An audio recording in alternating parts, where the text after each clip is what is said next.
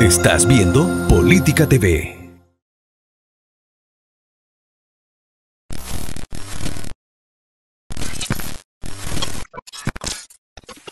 EC, El Centro, el diario informativo de la región del Maule.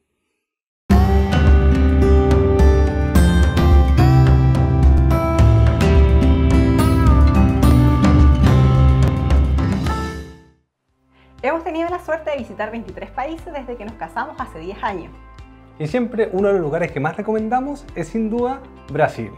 ¿Por qué? Porque tiene playas paradisíacas tan bellas como las que podemos encontrar en Filipinas, en Tailandia o en cualquier otra parte del mundo.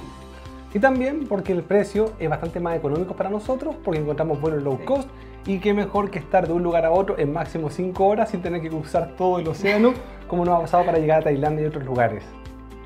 Así que bienvenidos a un nuevo capítulo de Felices por el Mundo por las pantallas de Política TV. Al llegar a Río de Janeiro, lo primero que hicimos fue arrendar un auto. ¿Por qué? Porque es más económico, te da más libertad y te puedes desplazar fácilmente de un lugar a otro. El precio del auto costaba 25 mil pesos aproximado por día y para poder arrendarlo tienes que tener licencia internacional y una tarjeta de crédito con al menos mil dólares de cupo para las garantías comenzamos este recorrido y nos fuimos a Cabo Frío. ¿Por qué Cabo Frío? Porque es una ciudad un poco más pequeña que Río de Janeiro, pero que tiene todas las bondades de una gran ciudad. Por ende, tiene muchas opciones de alojamiento, de restaurantes, de bares y una playa maravillosa. Sí. La gracia también de Cabo Frío es que se encuentra muy cerca a Rayal do Cabo y Bucios. Partiremos con Bucios, que es mucho más conocido, por mucho tiempo siempre se promocionaba a Bucios, por lo menos a nivel nacional, que a nuestro parecer nos gusta, pero por un ratito. Sí. El bucio se caracteriza porque tiene muchos pequeños sectores donde tiene distintas playas y mucha variedad de lugares, pero son bastante pequeños y a nuestro parecer las playas tampoco son tan paradisíacas. Sí, es por lindo. otro lado, claro, es lindo, sí, es lindo. pintoresco, hay que conocerlo. sí, pero también si, si te destinas muchos días puede ser un poquito aburrido porque es muy, muy monótono y es pequeñita la zona. ¿Qué nos gusta? Amamos a Ryan Ducao. A Ryan Ducao, aparte que suena genial, ¿cierto? Entonces, aparte de eso, es un lugar que de verdad es el paraíso aquí en Sudamérica. Es una playa paradisíaca, igual, igual que algunas de Filipinas, sobre todo Playa Grande, está el Pontán de Atalaya, también está Praíña, que son lugares que uno puede recorrer, que están muy cerca de Cabo Frío y puede hacerlo como actividad por el día, o también lo puede hacer quedándote en ese lugar que nosotros viviríamos ahí. ¿Qué característica tienen estas playas? Que son de agua completamente transparente y le da un pequeño toque de celeste, pero es realmente maravillosa. La arena es blanca, blanca y eh, se refleja constantemente el, el sol. Pero nuestro viaje no quedaba hasta ahí, sino que se nos ocurrió en esta oportunidad, como teníamos el auto arrendado y éramos un grupo de cuatro, se nos ocurrió ir a Puerto Seguro, que en el mapa decía que eran solamente mil kilómetros. Dijimos, ah, mil kilómetros en Chile no hemos andado sin ningún problema. Pero resulta que no considerábamos que las carreteras eran de alto tráfico de camiones y, en muchas partes una vía. una vía. Entonces, por ende, es muy lento, nos demoramos un montón en llegar. Pero realmente vale la pena, conocimos un sector muy distinto a lo que uno conoce habitualmente de Brasil. Eh, es una... Es más folclórico, encuentro yo. Eh, exactamente, hay mucho más cultura y se vive mucho más la el tema, bueno, está la representación aborigen, claro. Eh, fue un lugar, un punto de llegada a los conquistadores, tiene un casco histórico que es bastante llamativo, que deja este tema como de ciudad moderna a volver a la ciudad colonial, ciudad antigua. Exactamente, yo creo que eso tiene, tiene este toque colonial brasileño, muy, muy lindo. Y, pueden cruzar a Ryan la Ayuda. a Ryan la oh. Ayuda, a Ryan la Ayuda, a Ryan. Y en donde puedes encontrar uno de los parques acuáticos más grandes del mundo. No, es súper interesante y aparte hacen un tour en la noche donde puedes salir a carretear. Ahora quizás con el tema de la pandemia no tanto, pero bueno, hemos visto que Brasil ha estado súper activo independiente de la cantidad de casos que tengan. Este fue un recorrido súper largo, que fueron mil kilómetros, la verdad vale la pena harto. Sí. A lo mejor vale más la pena si estás desde em, Salvador de Bahía, conocer Puerto Seguro que está mucho más cerca en distancia. El pique de nosotros fue largo porque de, de Río de Janeiro a Cabo Frío y de Cabo Frío a Puerto Seguro se hizo bastante extenso. Pero de todas maneras regresamos a Rayal Ducado a disfrutar de los días de sol de, ese sector. Eh, ¿Qué característica tenía Puerto Seguro? Es que también las temperaturas eran mucho más altas. El agua también, la temperatura del agua era, más, era mayor. Eh, Empezamos a regresar, como todo buen viaje, y dejamos, diría, algo muy interesante para el final, que fue recorrer Río de Janeiro. Río de Janeiro. Habíamos tenido oportunidad de visitarlo hace años atrás, Pero ahora fue distinto, con otro ojo, ojos de turistear, de recorrer, de pasear, de caminar mucho. Claro, la vez anterior realizamos Río de Janeiro con tour. Hicimos todos los tours típicos de Río de Janeiro, que fueron alrededor de dos o tres eh, tours.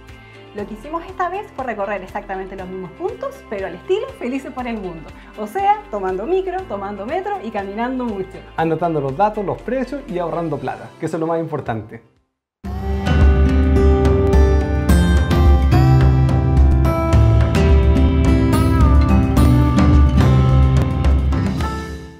Freemax, servicio técnico, reparación, mantención e instalación. También contamos con venta de insumos en el área de climatización y aire acondicionado. Somos Freemax. Tu aire, tu espacio, tu opción.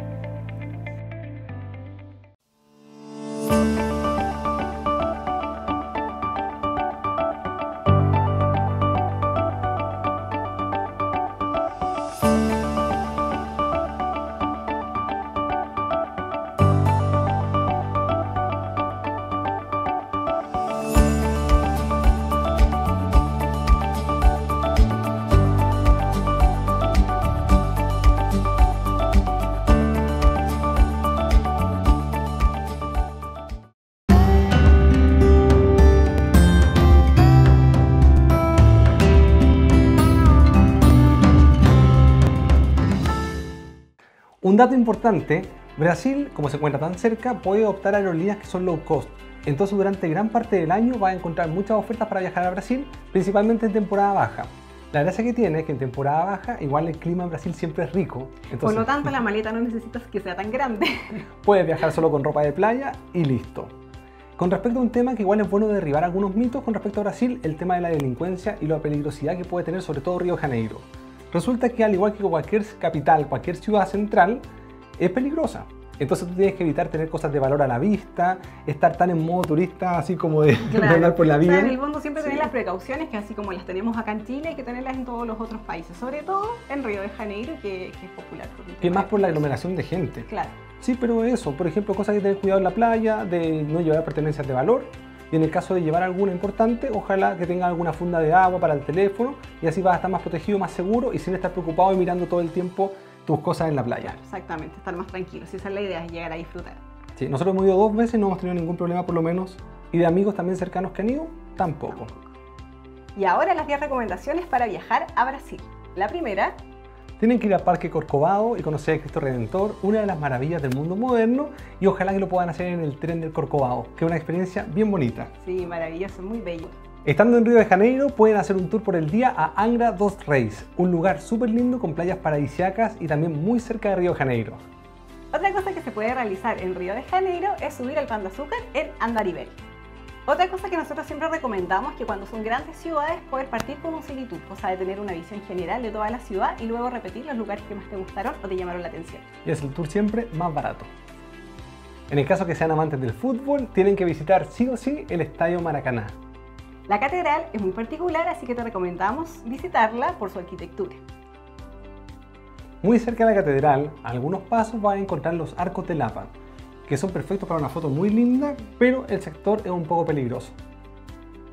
Otro punto clásico es la escalera de Celarón. Obviamente hay que visitarla. Está solamente en las cuadras de los Arcos, de, Lapa, y muy cerca de la Catedral Metropolitana. No sé si han visto en redes sociales una piedra en donde alguien siempre está colgando, alguien la está filmando. Esa se llama la piedra del telégrafo y pueden hacer un tour. Otro lugar que ya se convierte en un clásico para una postal en Brasil es visitar la Escuela de Arte, que está ubicada en, en el Parque Laje. Es un lugar muy llamativo y arquitectónicamente hablando es maravilloso. Bueno, por algo es el, la escuela de arte. Lo interesante de Brasil es que primero se encuentra cerca. Si tiene un presupuesto ajustado, lo va a poder aprovechar al máximo debido a que no es caro. Claro, hay muchas alternativas de alojamiento, puedes encontrar alojamientos, hostales, hoteles, como habíamos dicho. De distintos precios. Claro. También puedes almorzar, tienes que pasar sí o sí una churrasquería, en el caso que seas carnívoro, que te guste mucho la carne.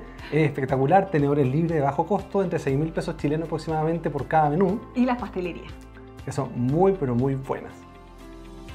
Además, otro dato importante de Brasil es que es un lugar que solamente puedes viajar con tu carnet de identidad, así ahorrándote los 90 mil pesos del pasaporte en el caso que no los tengas.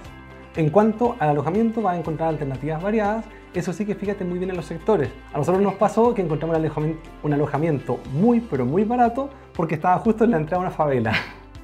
Pero valía la pena el ahorro. Teníamos afuera patrullas toda la noche, pero era muy seguro. Así que era súper seguro.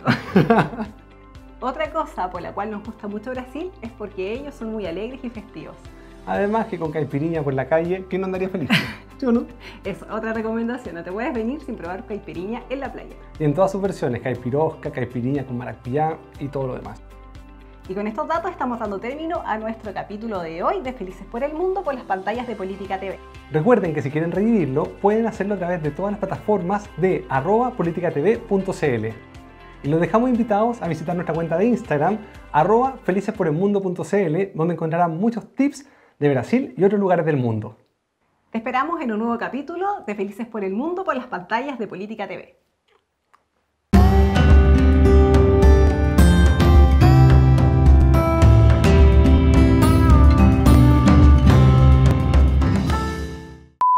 Hemos tenido la suerte de visitar 23 países desde que nos casamos hace 15 años.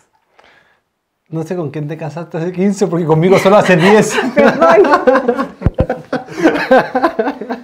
hace 10 que estoy contigo. Hace 17 que estamos juntos. no sabía esa parte. Ya. Ay, vamos. Este espacio es presentado por Clínica San Patricio, diagnóstico ambulatorio para todos nuestros pacientes. Escríbenos a contacto arroba clínicasanpatricio.cl. Freemax tu espacio, tu aire, tu opción. Escríbenos a servicios-freemax.hotmail.com.